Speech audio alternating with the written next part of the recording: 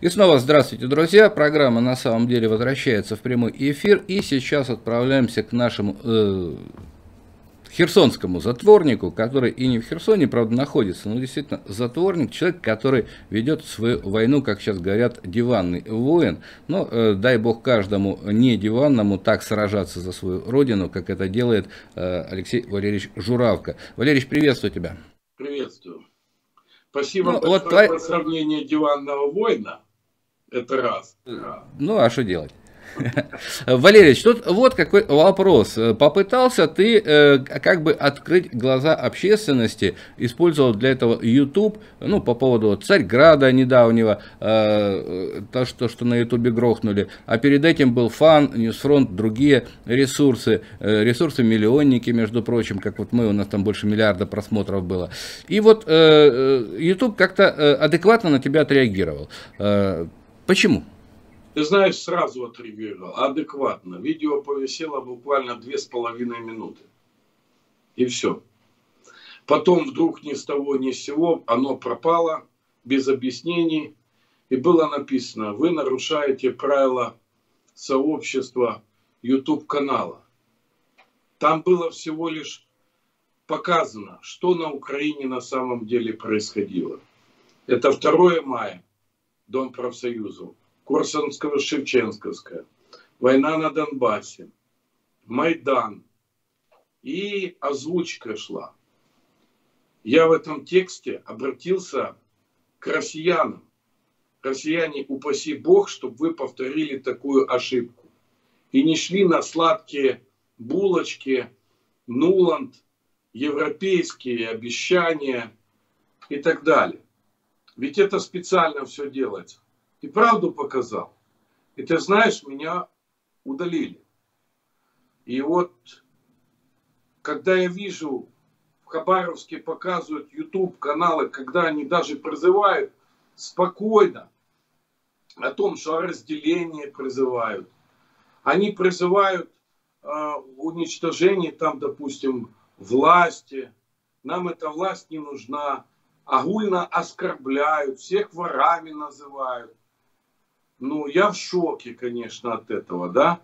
И они набирают лайк целую кучу там под миллионы, показы, реклама. А ролик, который говорит о правде, о жизни и то, что произошло, и нам Европа ничем не поможет, а мы сами у себя должны быть хозяева. Этот ролик закрылся, да? И самое главное, что налетела целая куча демократов, как я их называю, на меня. Просто разорвать, порвать. А вот Facebook вообще интересно. По Беларуси снес вообще ролик мой. А, обращение мое повисело буквально двое суток по России. Потом пошли меня оскорблять там уничижительными э, комментариями, меня лично оскорблять, вплоть приходить и руки, ноги надо засунуть в одно место последние, и оборвать, и, и так далее. Но самое характерное, что на второй день мне приходит объявка. Ваш Facebook будет удален с аккаунта. И дали мне два часа, чтобы я обжаловал. Я описывал почти каждую строку через почту. Еле-еле остался этот пост. Ну вот тебе и цензура. Вот тебе и правда. Понимаешь, я не имею права говорить, как инвалид без руки, без ноги побывал на Донбассе, рассказывать правду, как там стреляли. Я не... Ну, Алексей Валерьевич, вот интересная штука Facebook, я с 2011 года, с марта месяца на нем, и я видел на моих глазах вот это вот э, дрессура э, нормальных людей, превращение их в ненормальных, либо вот то, что на Украине происходит, когда русских, русскоязычных в стойло загоняют, и они уже говорят, а может Бандера не такая сволочь, а может э, и правда, что нам по-русски не надо говорить, и детям нашим хай украинскую мову размовляют. Я ведь помню, как на Фейсбуке сначала ну, как, скажем так, если и наказывали, то наказывали за что-то очень плохое. А потом стали за слова литературные и словаря Даля э, потихонечку так вот как-то вот, это была редкость, но было, банили. Это потом после 2014 года нас начали прессовать плотно.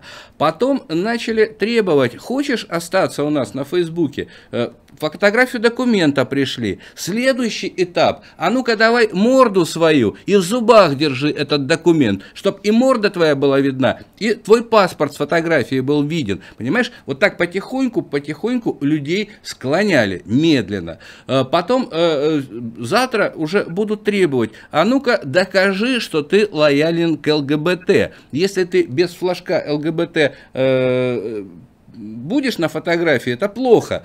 Э, да, сделай фотографию, что ты с флажком ЛГБТ, мы тебя оставим, и будут делать. Потом э, фотографию, что ты участвуешь в параде ЛГБТ, и дальше, дальше, дальше, так дойдет до последнего, до края.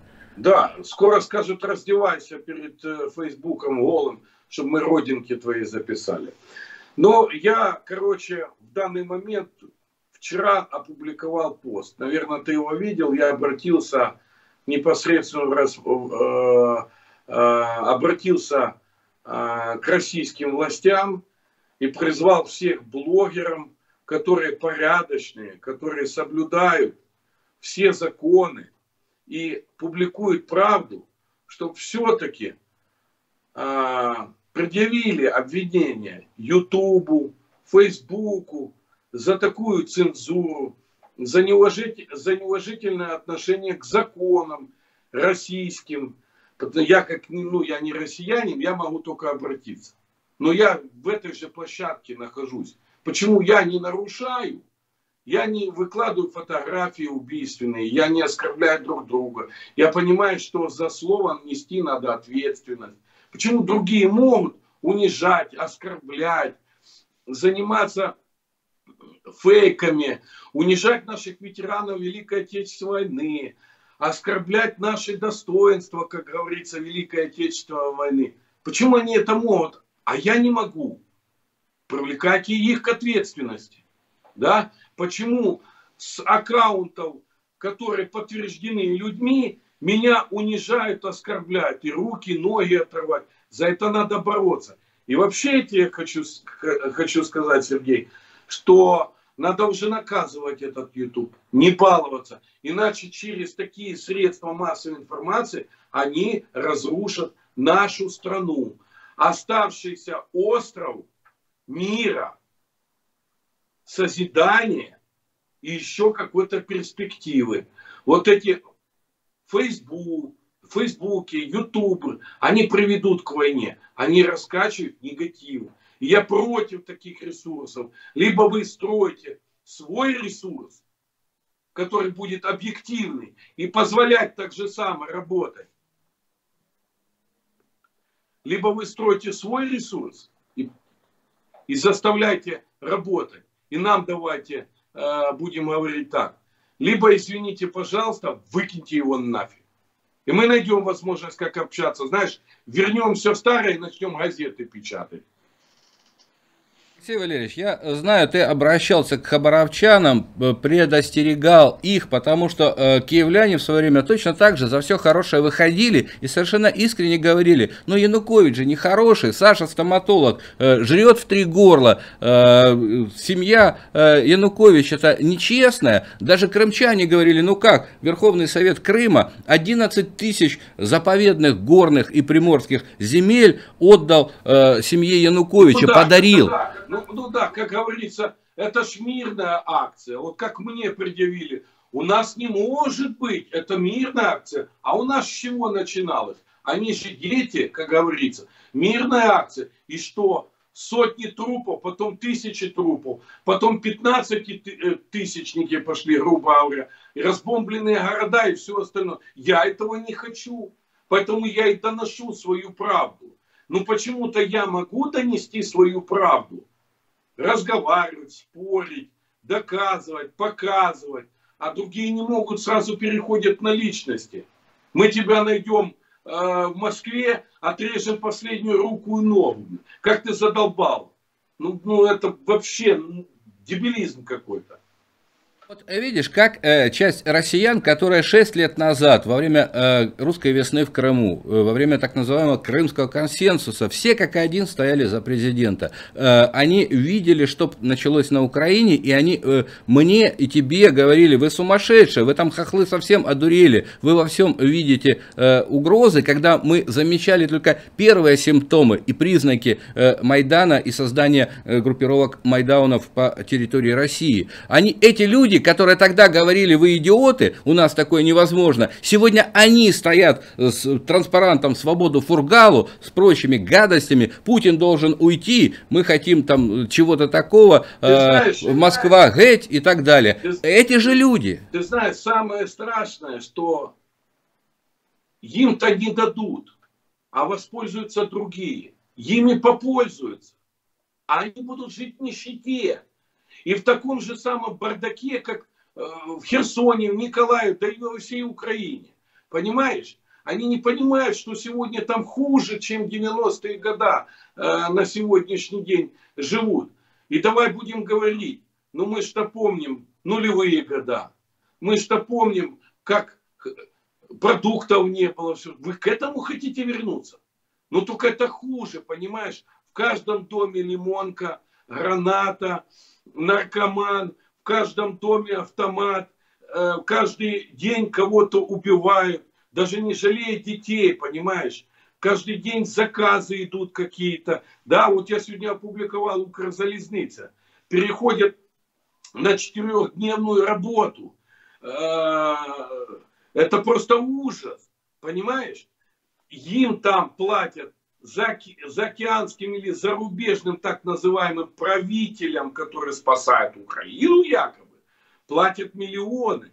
А то, что на сегодняшний день уже 70 тысяч попадают под сокращение, и они хотят сократить, а 300 тысяч работало в Укрзалезнице. А почему тогда не расскажут россиянам, что в общей сложности в Укрзалезнице работало 556 тысяч, а сегодня уже работает 300 тысяч. А куда эти 200 тысяч, грубо говоря, людей денутся? Вот и все. Вот, вот этого вы хотите, россияне. Вы это получите. Шаг вперед того и сделайте, как говорят. Нам надо идти вперед. Сделайте. Но сделайте вы бездумный шаг и попадете в канаву. И что дальше? Э, ладно, с россиянами и хабаровчанами и к ним примкнувшими вот этими черными политтехнологами. Я вчера посмотрел огромный митинг в Беларуси. Собирала вот женщина-оппозиционерка. Я посмотрел, какие шаги делают соратники э, батьки э, Лукашенко. А я просто вот увидел Левочкина, увидел Януковича, увидел, как развивалось все. Когда Виктор Федорович вдруг в какой-то момент потерял почву под ногами, когда не понимал, он слушал своих советников, вот этих приближенных Левочкиных, и совершенно не хотел прислушаться к мнению простого народа и э, к э, мнению аналитиков, профессионалов они были отогнаны. Я же помню и твои рассказы, и рассказы других регионалов, э, Вадика Колесниченко, Олега Царева, как пытались пробиться и объяснить, Виктор Федорович, задница стране, э, тебе хана. Нет, не слушал. Вот сейчас Григорьевич поступает примерно точно так же. Я вчера, когда прочитал э, о том, что МИД Украины сделал заявление о том, что Украине переданы данные на э, россиян, которые были задержаны, которые якобы имеют отношение к событиям на Украине на территории Донецка и Луганска. И это значит, белорусы, не признающие э, вот это все, они готовы отдать россиян Украине на расправу тем, той Украине, которая славит Шухевича и других нацистов, которые сжигали деревни э, той же самой Белоруссии. Ты знаешь, Сереж, я так тебе скажу, то, что Белоруссию будут раскачивать, это раз с этим инцидентом это чистая провокация. Вот я тебе говорю. Это столкнуть два народа. Это чистая провокация. Самое страшное, что Лукашенко заблудился в соснах. В трех. И если он опрометчивый шаг сделает, он закончит так же самое, как Янукович. Но у него еще шанс есть. Вот эту всю свору, отдебелевшую, которая сегодня творит вот этот беспредел в Беларуси. Как она там, оппозиционерка заявила, надо расторгнуть договор. Они не понимают, что Белоруссия без России не проживет, как и Украина. И сегодня, кстати, благодаря России еще Украина как-то на плаву держится, потому что большая часть инвестиций, транзитов, э, продукции и так далее, запасных запчастей, техники идет с России. Как бы они там ни говорили, на сегодняшний день, даже при коронавирусе, Россия на первом месте по перечислению денежных средств в Украину. И не надо обманывать. Так вот, Белоруссия сегодня доиграется. Я сделал этот ролик, и белорусам говорю, посмотрите. Я понимаю, что возраст там у батьки Лукашенко, еще что-то. Но он вреда не хочет своей стране. Это видно. Она прухнула еще давным-давно. Понимаешь? Всякие бывают вещи. И тут надо с грамотным, будем говорить, подходом подходить, а не обращать на эти всякие фейки внимание, кто что как сказал. А то по телеграм-каналам, знаешь, пустили. Путин сдал ЧВКшников. Да там только паспорта были зарубежные. Уже было понятно, что это транзитники. Я беру элементарные простые вещи. Да? Поэтому как бы все эти сценарии разыгрываются. А вот кому это было выгодно, чтобы поссорить Россию с Беларусью, вот тут надо разобраться. И я уверен на тысячу процентов, что это сидят спецслужбы зарубежные, которые трактуют, делают, используют, подставляют выводят эту ситуацию, чтобы разбудить зверя ненависти. Вот и все. Вот так надо рассматривать эту ситуацию. А я сегодня против, чтобы Белоруссия и Россия сегодня умывалась кровью из-за каких-то негодяев из-за рубежа. Украина живая. Люди добрые, россияне, белорусы, задумайтесь над тем, что я говорю. Алексей Валерьевич, я очень надеюсь, что э, твои слова э, не только Богу в уши, но и э, жителям Беларуси, украинцам, наверное, уже почти поздно, ты их тормошишь, сколько уже, седьмой год, не слышат. Но очень надеюсь, что белорусы на украинские вот эти кружевные трусы не наступят, не подскользнутся и не грохнутся озимь, как это сделали ребята, которые сегодня живут в стране, ну, страшно ее э, вообще как-то вот найти какой-то... я могу одно сказать. Я хочу вместе жить. Белоруссия, Россия, Украина. Мы братья. И древо корня у нас одно на всех. И победа у нас на всех. Великой Отечественной войны. Да, вспоминается э, куча анекдотов смешных про этого трехголового э, змея Горыныча, да, одна голова э, умная, вторая там э, алкоголик, а третий гей. Попа у них одна общая, и не помнить об этом нельзя, потому что и печень у них тоже общая, на троих. А вот некоторые алкоголики и геи про попу и печень э, общую не вспоминают, а помнить надо. Спасибо, Валерьевич, до встречи. До свидания.